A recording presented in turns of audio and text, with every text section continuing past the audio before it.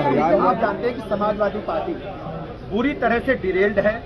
कई चुनाव में हार चुके हैं फ्रस्ट्रेटेड लोगों का समूह है। गुंडे माफिया मवाली असामाजिक तत्वों का जमावड़ा है। उनको प्रेशर देना परसों आपने देखा वो दुर्दांत अपराधी को आजमगढ़ जेल में जाकर के मिले हैं। हमने कल ही कहा था कि अपराधियों को कुत्सित पल्लवित करना समाजवादी पार्टी का मूल कार्य है। वो अपने डीएनए में परिवर्तन नहीं ला रहे हैं अपने मूल चरित्र में परिवर्तन नहीं ला रहे हैं। जनता ने उन्हें नकार दिया है। 2024 में जब लोकसभा का चुनाव होगा हम पूरे प्रदेश में 80 की 80 सीटें जीतेंगे और समाजवादी पार्टी को जनता ने पूरी तरह नकार दिया है।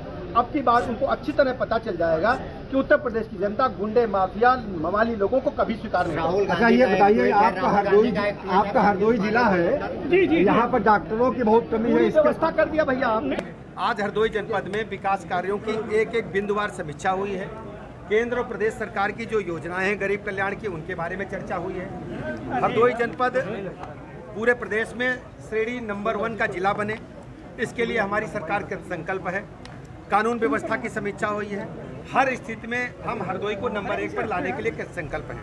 हमारा मानना है कि हरदोई जनपद में जो उर्वरा शक्ति है युवाओं में ऊर्जा है उसको हम हरदोई जनपद के विकास में लगाएँगे और एक एक व्यक्ति हरदोई का विकास के पथ पर अग्रसर हो उसको महसूस हो उसके जीवन स्तर में बदलाव आए इसके लिए हमारी सरकार का संकल्प है उसी दिशा में हम काम कर रहे हैं। अखिलेश यादव का एक ट्वीट आया है जिसमें उन्होंने बांदा में एक स्कूल में गाय दिखाई और कहा है कि आप जानते हैं कि समाजवादी पार्टी बुरी तरह से डिरेल्ड है कई चुनाव में हार चुके हैं फ्रस्ट्रेटेड लोगों का समूह है गुंडे माफिया मवाली असामाजिक तत्वों का जमावड़ा है उनको प्रेशर देना परसों आपने देखा वो दुर्दांत अपराधी को आजमगढ़ जेल में जाकर के मिले हैं।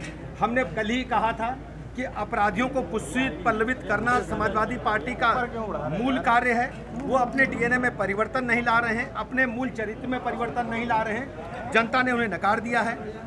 2024 में जब लोकसभा का चुनाव होगा, हम पूरे प्रदेश में 80 की 80 सीटें जीतेंगे और समाजवादी पार्टी को जनता ने पूरी तरह नकार दिया है। अब की बार उनको अच्छी तरह पता चल जाएगा कि उत्तर प्रदेश की जनता गुंडे माफिया मवाली लोगों को कभी स्वीकार नहीं राहुल गांधी का एक ट्वीट है राहुल गांधी का एक ट्वीट है बिल्किस बानो को लेकर। यहाँ पर डॉक्टरों की बहुत पूरी व्यवस्था कर दिया भैया मंत्री जी स्वास्थ्य व्यवस्था पटरी से उतर गई है आपके जनपद में। स्वास्थ्य व्यवस्था पटरी से उतर गई है। रेडियोलॉजिस्ट है।